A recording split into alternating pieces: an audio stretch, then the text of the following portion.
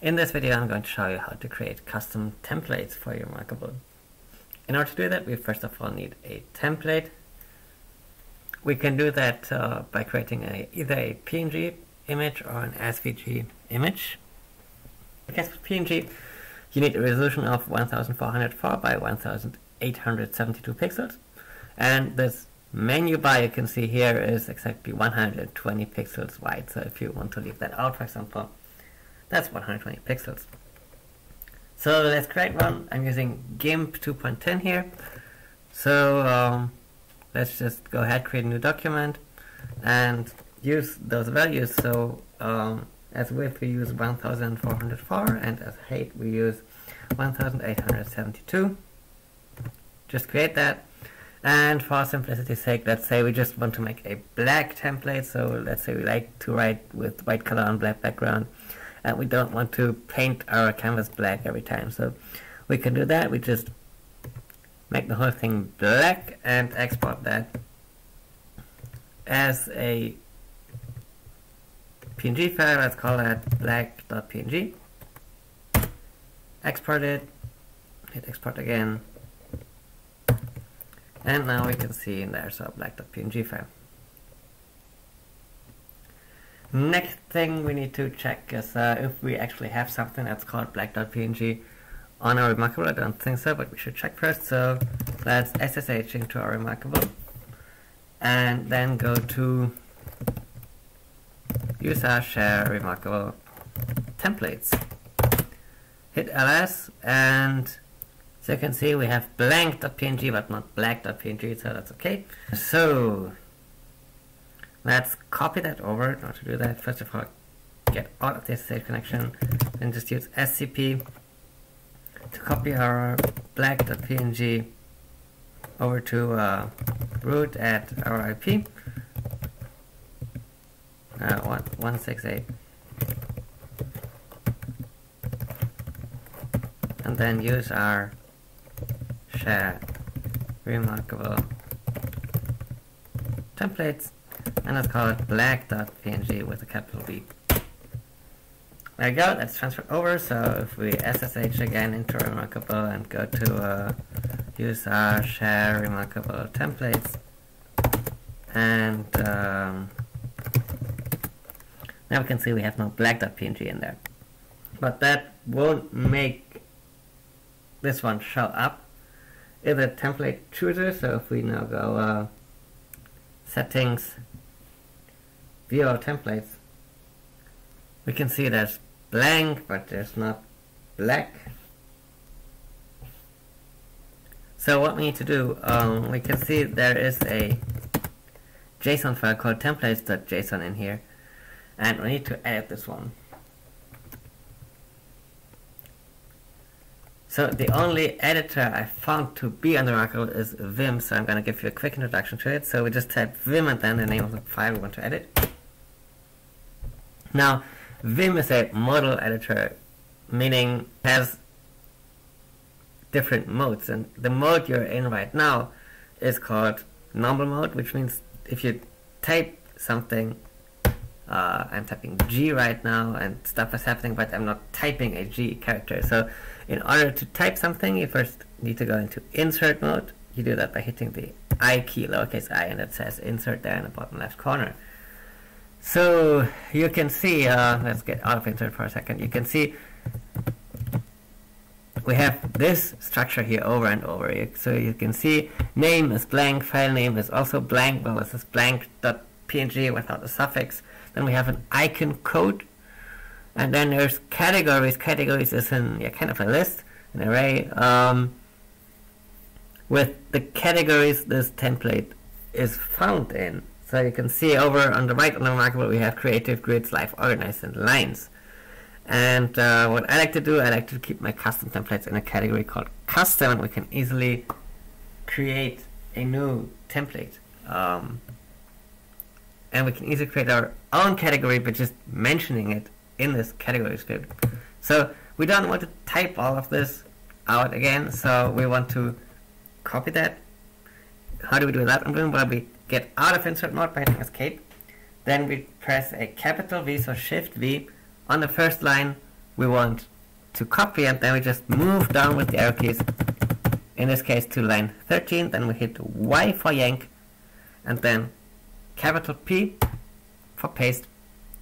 And now we have a new copy of this blank entry post pasted.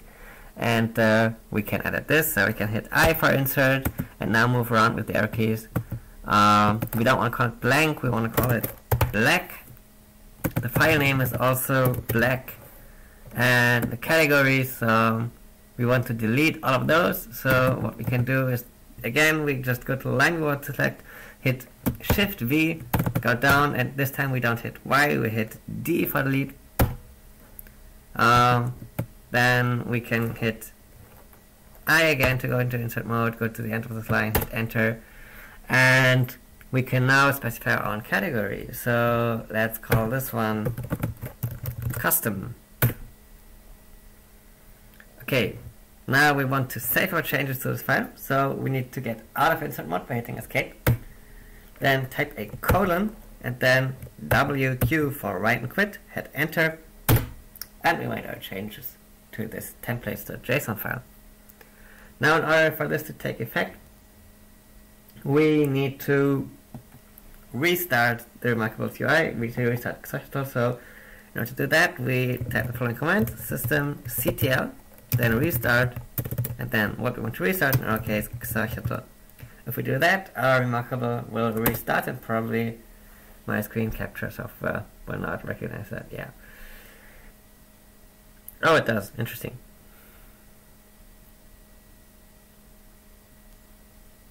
We're now back. So let's go to our quick sheets again. Select the new blank page Now click on the title of the document or on the three dots. Now settings, review all templates. And now we can already see we have this black thing, uh, the black template on there. But we also have the category custom up there. If we click custom, we just see our new template we added to this category. So we can select the black template here, hit save. And now we have a black background. One more important thing, if you have a landscape template, then inside this, inside those JSON lines of this template entry, you need to add this landscape and then true thing. If you don't add that, then the micro will try to handle your template as a portrait template. So while looking for templates on the Remarkable, I found there were some templates which are there but not accessible through the template chooser, so now to show them, I just mount that user share remarkable templates folder and go in there. And we can see there's all those templates in there. And there's, for example, one called pblack.png, which is not used anywhere. So let's find out all of the templates that are not used. Let's say um, for file in one of the PNGs. Let's focus on the PNGs first. we just grep that Q for that file, and not for that file, but uh, for that file without its suffix. This is Z shell only syntax right there. We grep for that in templates JSON, and uh, well, if that's the case, if we find it, uh,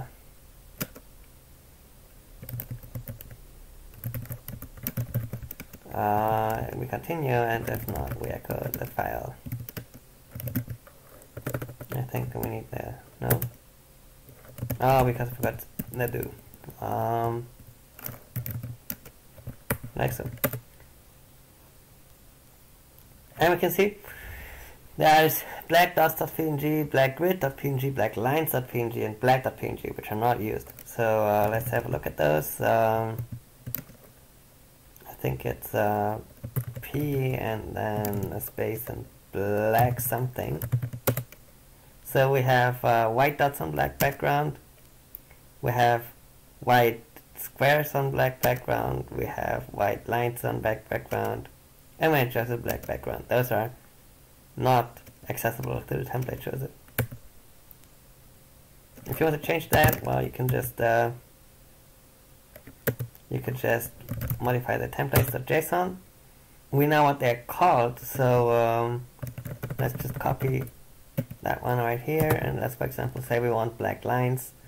Uh, we can just call that black lines, and the file is p, p black lines, and now we would have to find the icon code for the line. Let's just say uh, we have lines medium. Let's use medium. So it's this code right here. Let's just copy that, go over here, uh, paste that, and delete that one.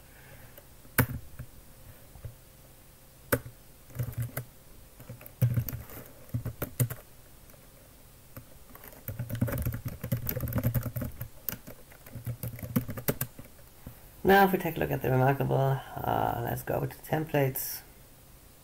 We can see there's black lines. Uh, we accidentally picked the portrait, uh, the landscape template there, but if we select that, it doesn't work.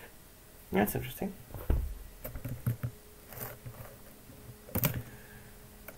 Here's our share, remarkable templates.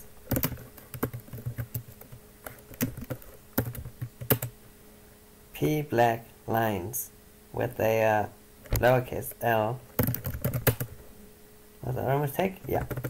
Uh, so we can see we uh, this one needs to be lowercase and uh, while we edit uh, oh yeah while we edit uh, let's look for name lines again uh, this is ls lines we don't want ls lines, we want p lines, small, p lines medium, let's do this one, go up there again, uh, oops, up, up there again, and uh, use the correct icon code this time. And now back on the Remarkable. Let's open up the templates again.